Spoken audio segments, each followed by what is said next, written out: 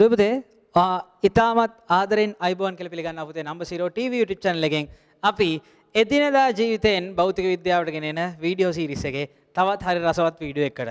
හරි අද ලෑස්ති වෙන්නේ අපි පෙරලමු හරි බලමු. මං ගත්ත පොඩි ආනතයක් තියෙන මේසයක් හරි අපිට ක්ලාස් එකෙම හම්බුණා සීන් එක. මම මේ පෑන මේ කොටින් තියෙනවා. බලමු මොකද වෙන්නේ කියලා. මොකද උනේ? පෙරළුණා. මයික් එකත් තියලා බලන්නද? මොකද පුතේ අතින් වැටිලා කැඩුනොත් එහෙම හරි එහෙනම් මයික් එක තියලා බලමු ඈ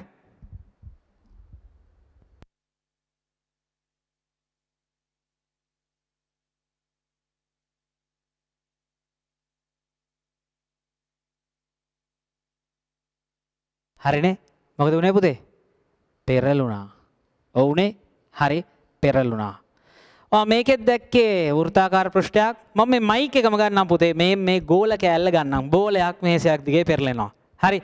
ওই සංසිද්ධියේ හරි ලස්සන කතන්දරයක් තියෙනවා. එකක් තියෙනවා පුතේ චලිතයක් ලෙස්සලා යනවා. කොහමද? මෙහෙම. අනිත් එක මොකද්ද? පෙරලෙනවා මෙහෙම. හරිනේ. කතා දෙකක් මං ගන්න යන්නේ. මං මෙතන ඉඳන් මෙතෙන්ට තියෙන දුරම ගන්නම් ආනත්තලයක අපි බලමු පුතේ මෙයා මෙතන ඉඳන් මෙහෙට එන තෝරණයයි මෙයා මෙතන ඉඳන් පල්ලෙහාට පෙරලෙන තෝරණයයි ඒකෙදි ගමන් කරන තෝරණයයි සමානද අසමානද කියලා. ඒකෙන් අපි චෙක් කරලා බලමු පුතේ මෙයා මෙතන ඉඳන් මෙතෙන් එන්න ගත වන කාලයයි මෙයා මෙතන ඉඳන් පල්ලෙහාට රෝල් වෙන්න ගත වන කාලයයි සමානද අසමානද කියලා. හරි එහෙනම් මම ඇඳ ගන්නවා ඉස්සරවම රූප සටහන් දෙකක්. හරි එකක් මෙන්න මෙන්න පුතේ පළවෙනි එක. මේ තියෙන්නේ පෙරලෙන එක. පෙරලීම. හරි? මේන් ඇඳ ගන්නවා පුතේ මන් තව එකක්.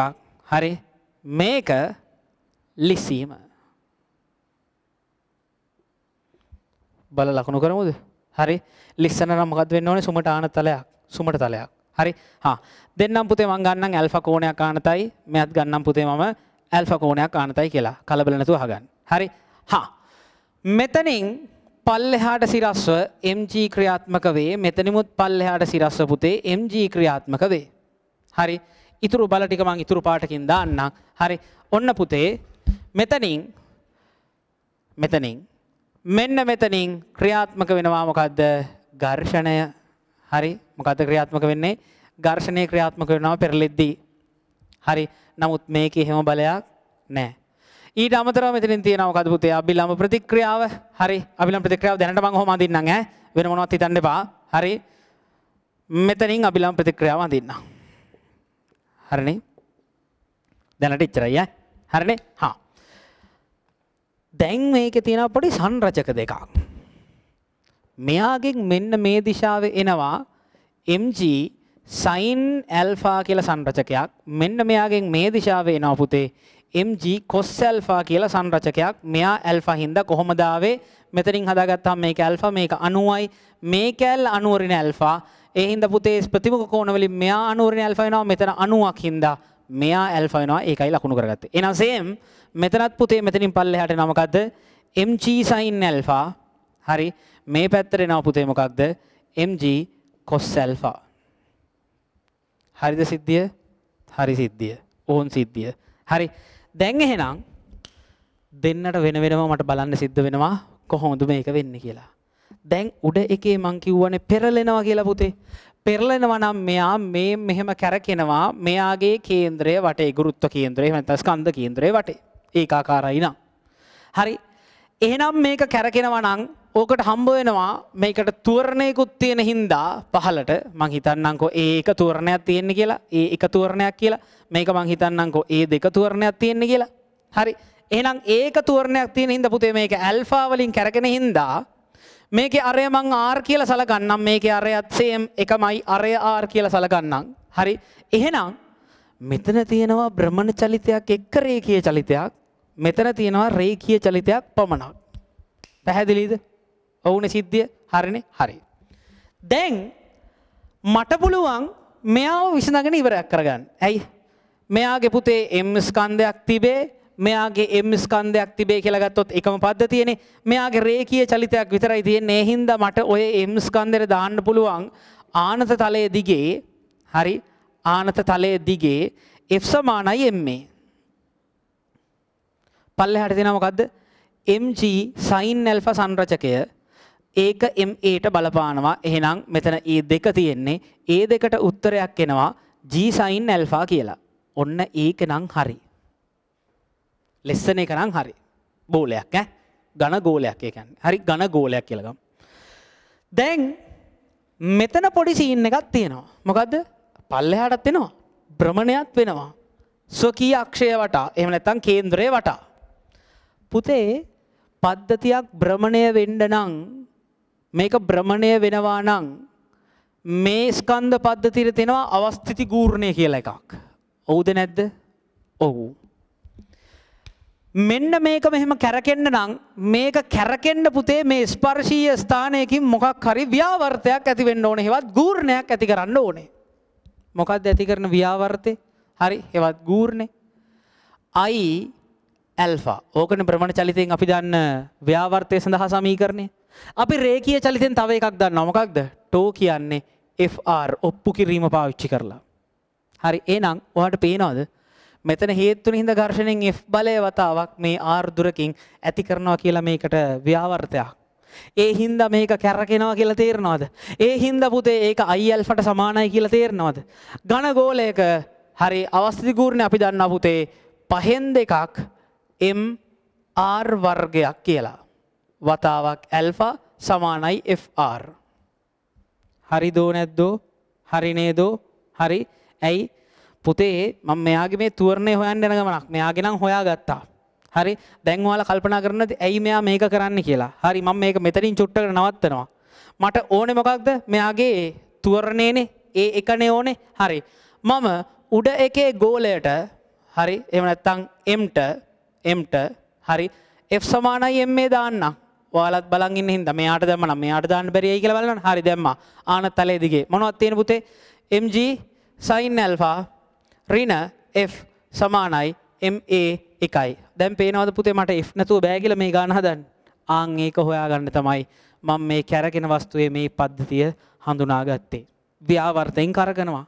හරි ඒ හින්දා කෝණික තෝරණයක් හම්බ වෙනවා මේකට අවස්තු ගුරුණයක් තියෙනවා. දැන් F හොයාගමු. මොකද්ද පුතේ F හොයන්නේ? කොහමද හොයන්නේ? මේම.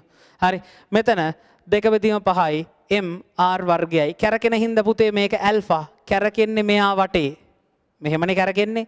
එහෙනම් පුතේ ඔයා දන්නවද මේ ඇල්ෆගෙන් කැරකෙනකොට මේ ඒ එක කියන තෝරණය මේක හැමතැනම තියෙනවනේ. මෙයාව පල්ලෙහාට ගේන්න. එහෙනම් මෙන්න මේ ලක්ෂයේදීත් ඕක තියෙනවා. මොකක් හැටියටද? ඒ සමානයි. හරි? ආර් ඇල්ෆා හැටියට. මොකක්ද බ්‍රමණ චලිතයේ ස්පර්ශීය තුවරණය හරි? කෝණික තුවරණය වතාවක්. ආර් එනම් මෙතරින් පුතේ මට ඇල්ෆලියා ගන්න පුළුවන් මොකක් කියලාද? ඒ බෙදීම ආර් කියලා. එනම් මං ඒ ගෙනල්ලා මෙතෙන්ට ආදේශ කරන්න මොකද්ද? ඇල්ෆා කියන්නේ ඒ බෙදීම ආර් මෙතනින් එනවා F වතාවක් R. දැන් පුතේ මට මෙතනින් F ට උත්තරයක් ගන්න පුළුවන් කොච්චරක් කියලාද? දෙක බෙදීම පහයි M හරි A කියලා. මේ R මෙතෙන් ආපම R වර්ගයට R කැපිලා සුළු වෙලා යනවා. සුළු වෙලා යනවා. හරි. එහෙනම් මම දැන් මේක F දන්නවද? ඔව් පුතේ දන්නවා. හරි. එහෙනම් පුතේ මම මෙතනින් එකකින් ආදේශ කරන්නද? ආදේශ කරන්නම්. කොහොමද එන්නේ? mg sin alpha කොල්ලෝ මෙතන එනවා. මොකද්ද? දෙක බෙදීම පහයි ma එකයි. ඒ එකයිනේ. ඒ එකයි. හරි. දැන් සමානයි MA එකයි. දැන් සුළු කරමු. එහෙනම් මෙතනින් එනවා MG sin alpha සමානයි මොකද්ද? පහෙන් දෙකට පහෙන් පහක් එකතු වුනහම හත බෙදීම පහයි හරි M A එකයි. M ට M සුළු වෙනවා. A එකට එනවා පුතේ උත්තරයක් මොකද්ද? 5ක් G sin alpha බෙදීම 7යි කියලා. දැන් මොකද වෙලා තියෙන්නේ? පෙරලෙනකොට එක තුවරණයක් ලිස්සනකොට තව තුවරණයක් හරිනේ හරි. හරිනේ දෙකක් කොහෙන්ද ආවේ? ආ ඒ දෙක කියන එක. නැත්නම් වර්ග කියලා හිතයිනේ. ඒ දෙක. දැන් පුතේ කාල දෙන්නම ගමන් කරන්න ඕනේ. මං හිතන්නම් මෙන්න මේ දුර කියලා. S දුර.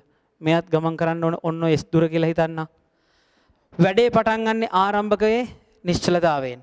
මෙයා පටන් ගන්නෙත් ආරම්භක පද්ධතියේ නිශ්චලතාවෙන්. දෙන්නම S විස්ථාපනයක් ගමන් කරන්න ඕනේ. හරි දෙන්නගෙම තුවරණාත්මකෝ වෙන්නේ.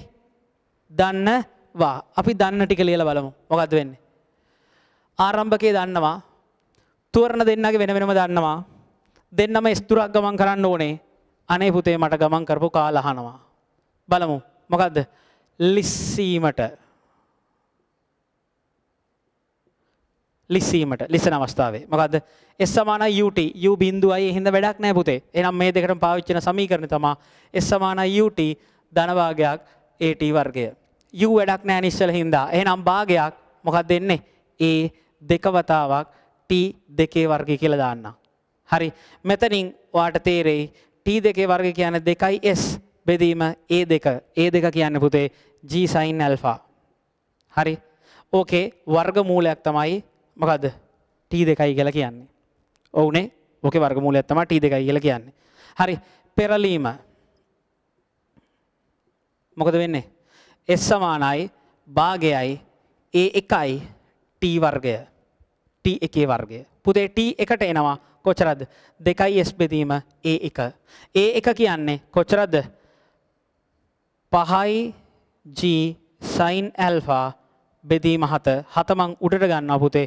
එතකොට මෙතනින් එනවා කීයද දා හතරක් ඔවුනේ? දා හතරක් එයාගේ වර්ගමූලය කියලා එනවා. වැඩේ හරිද?